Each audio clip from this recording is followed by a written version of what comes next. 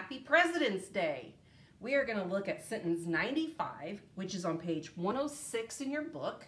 And the sentence is, it was he in the boat, but I did not see him. So let's start with the parts of speech.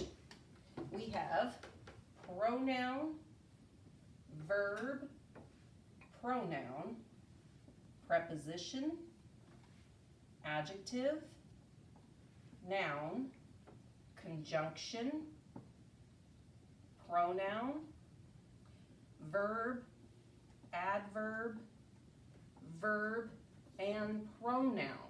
So one more time, make any corrections that you need to.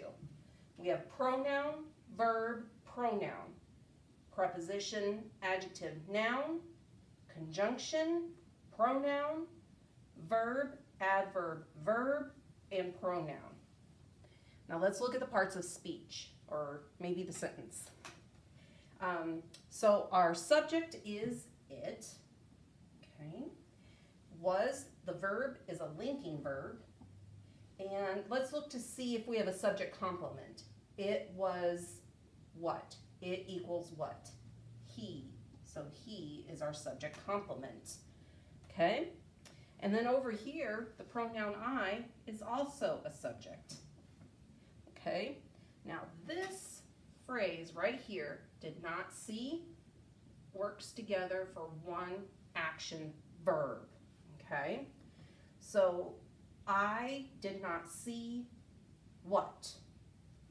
Him. That's our direct object. And as you can see, there aren't any extra words in between, so we don't have an indirect object. We have one prepositional phrase in the boat. Okay. It was he in the boat is an independent clause. Okay. I did not see him is a second independent clause. Two independent clauses makes for a compound sentence. Our punctuation is a period, and this is giving us information, so this is a declarative sentence. Now let's take a moment to look at a couple of things. Notice the pronoun he has to be a subject pronoun because it is the subject complement. If this read, it was him, that would be a big grammatical error, okay? Just like over here, this has to be him because it's the direct object. So it has to be an object pronoun, okay? You can't say, I did see he, okay? Let's also look at something. This is a little curious here. We have this phrase right here, did not see.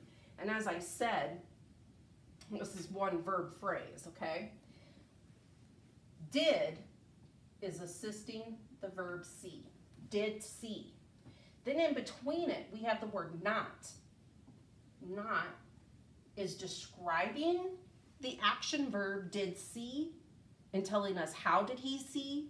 He did not see. Okay, so therefore it's an adverb.